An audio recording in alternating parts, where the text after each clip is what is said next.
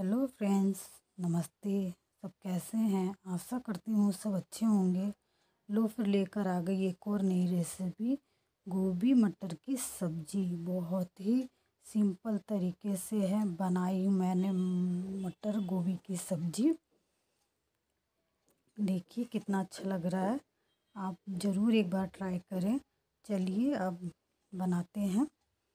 देखिए, मैंने हाफ़ के जी गोभी लिया है। इसमें मैंने डंडल भी डाला है उसका, गोभी का, और गोभी बड़े साइज़ में काट लिए है। और मटर है मेरा एक कटोरा, छोटे कटोरे से, और जो फ्रेश मटर है ना, वो मटर है। चलिए, बनाते हैं। मैंने कढ़ाई में एक चम्मच तेल डाला था, उसमें डाल दिया मैंने एक तेज़ पत्ता मेरा तेज़ पत्ता थोड़ा सा लाल हो जाएगा, तब मैं डालूँगी एक दालचीनी, एक बड़ी इलायची डालूँगी। और आधा चम्मच जीरा।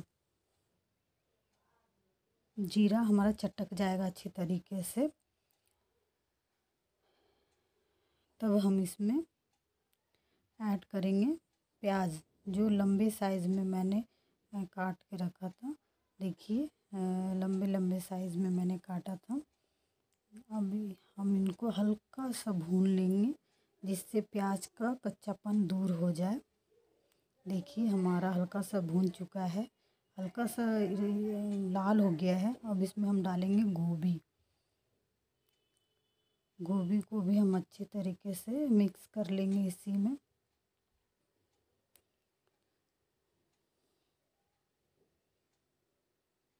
देखिए, मिक्स हो गया है। जब तक हमारा गोभी भून आता है, तब तक हम एक पेस्ट तैयार कर लेते हैं। लहसुन, अदरक और धनिया पत्ता को हम कूट के तैयार कर लेंगे। आज इसी को हम डालकर बनाएँगे। बहुत ही टेस्टी बनेगा हमारी सब्ज़ी। आप एक बार ज़रूर ये कूट के डालें। चलिए अब इसमें डालते हल्दी। अब इसमें डाल लेंगे थोड़ा सा नमक, जिससे हमारा गोभी आधा पक जाए। गोभी में हमारा अच्छी तरीके से नमक भी चला जाए। देखिए। हम इसको मिक्स करके अच्छी तरीके से थोड़ा भून लेंगे, जिससे हमारा गोभी अच्छी तरीके से भून जाए और आधा पक जाए। उसके बाद हम डालेंगे इसमें मटर। देखिए, मैंने मटर ऐड कर दिया। अब इसको भी हम थोड़ा सा मिक्स कर लेंगे। बहुत ही टेस्टी सब्ज़ी बना है। फ्रेंड्स, आप ज़रूर एक बार ट्राई करें और रोटी चावल किसी के साथ भी यूज़ करें, बहुत ही अच्छा लगेगा। अब इसको हम ढक के पाँच मिनट पकाएँगे, जिससे हमारा गोभी हल्का सा पानी छोड़ दे और हमारा मटर हल्का सा सीज जाए।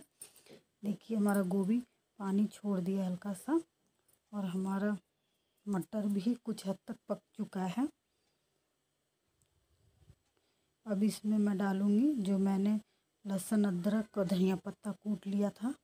इसमें हम धनिया पत्ता ऊपर से नहीं डालेंगे, हम आज इसमें ऐसे ही डाल कर बनाएँगे धनिया पत्ता। देखिए, हल्का सा हम इसको भून लेंगे, जिससे लहसुन, अदरक का कच्चापन थोड़ा सा दूर हो जाए। तब इसमें हम ऐड करेंगे कुछ मसाले। देखिए, हमारा भून चुका है। अब इसमें मैं डालूँगी दो टमाटर, मैंने बारीक काट लिया था। अब इसको थोड़ी देर हम इसको भूनेंगे ढककर, जिससे हमारा टमाटर हल्का सा सॉफ्ट हो जाए।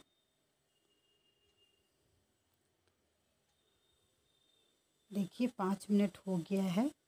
अब इसको हम देख लेंगे। हमारा टमाटर, देखिए, टमाटर, गोभी, मटर सारे सॉफ्ट हो गए हैं। अब इसमें हम मसाला ऐड करते हैं। चलिए, देखिए, मैंने डेढ़ चम्मच मसाला लिया है। ये मेरे मिक्स मसाले हैं। इसमें मैंने, मेरे सभी मसाले मिक्स कर रखे थे। और ये मैंने एक चम्मच और नमक लिया, क्योंकि हमने पहले भी नमक डाला था गोभी में। अब इसमें भी डाल ली। आप अपने अकॉर्डिंग नमक यूज़ करें। मसाला भून लेंगे। अब इसमें हल्का सा पानी ऐड करेंगे क्योंकि हमारा मसाला हल्का सा सटने लगा था। थोड़ी देर भून लेंगे हम इसको अच्छी तरीके से।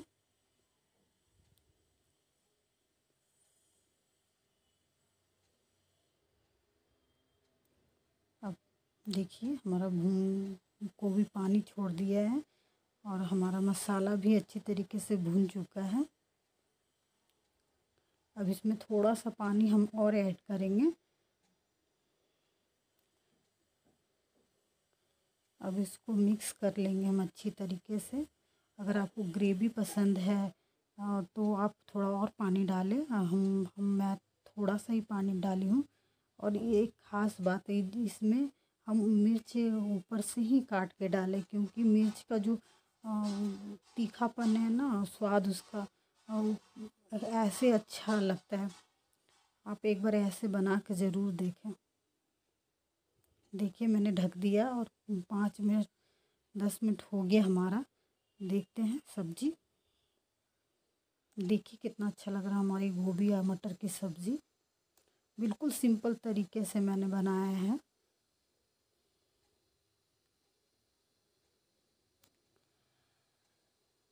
अब इसमें हम डालेंगे ऊपर से आधा चम्मच गरम मसाला। गरम मसाला डाल के हम अच्छी तरीके से मिक्स कर लेंगे।